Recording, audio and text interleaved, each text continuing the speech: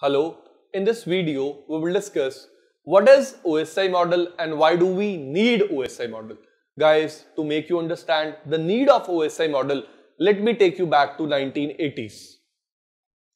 In 1980s, there were two big vendors. One was IBM, other one was DCNet.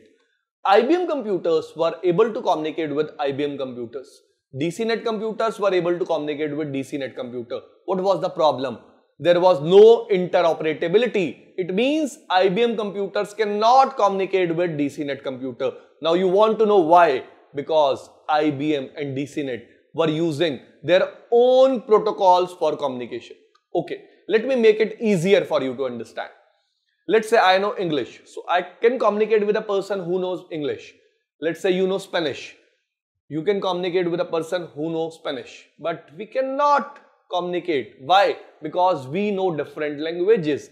In a similar way, there are protocols which will define how communication will happen. And IBM was using their own protocols and DCNet was using their own protocols. So, in 1980s, ISO break this barrier by coming up with a model called OSI model.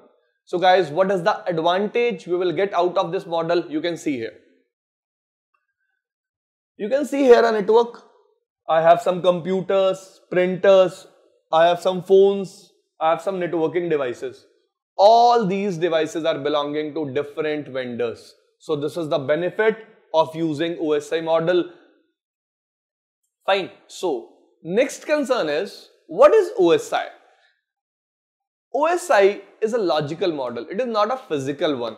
Actually, OSI model will define how communication will take place how sender will send the information, how receiver will receive the information. OSI model will be used by application developers when they are thinking of creating or implementing any application that will run on the network.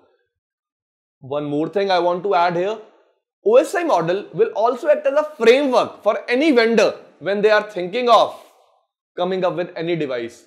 Let's talk about devices like router, switch. All these networking devices will also use OSI model. Now guys, OSI model is actually divided into 7 layers. So, in this video, I will tell you how you can memorize those 7 layers. So, you can count them. There are, there are 7 layers.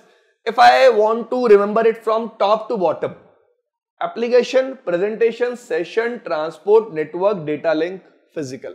If I want to remember it from bottom to top, physical, data link, network, transport, session, presentation, application. Now, I have a keyword for you to memorize. If you want to memorize it from top to bottom, all people seem to need data processing. So, A stands for application, P for presentation, S for session, T for transport, N for network, D for data link, P for physical. Now, if you want to remember it from bottom to top, you can remember it like this. People sorry, please do not tease sexy Pamela Anderson. So these are the seven layers. Now there are multiple ways to memorize them. So hope so you are able to memorize them. In this video, we have discussed what is OSI model and why do we need it. Thank you.